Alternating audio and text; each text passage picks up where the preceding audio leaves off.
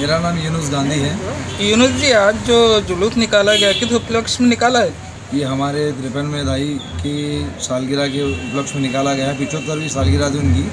उस उपलक्ष्य में आज जुलूस निकाला गया है। विभिन्न संदेश भी दिए आपने किस किस तरह के संदेश दिए गए? जो हमारे धर्मगुरु साहब के संदेश हैं स्वच्छता का अन्न का एक दाना भी वेस्ट ना किया जाए ज़ीरो वेस्ट कर शिक्षा शिक्षा का अधिकार सबका अधिकार होता है।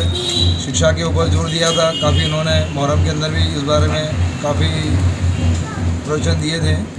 उसी संदेश को हम आगे फैलाते हुए आज उसके संदेश हमने पूरे बड़वानी नगर में भ्रमण करते हुए फैलाया है उस संदेश को।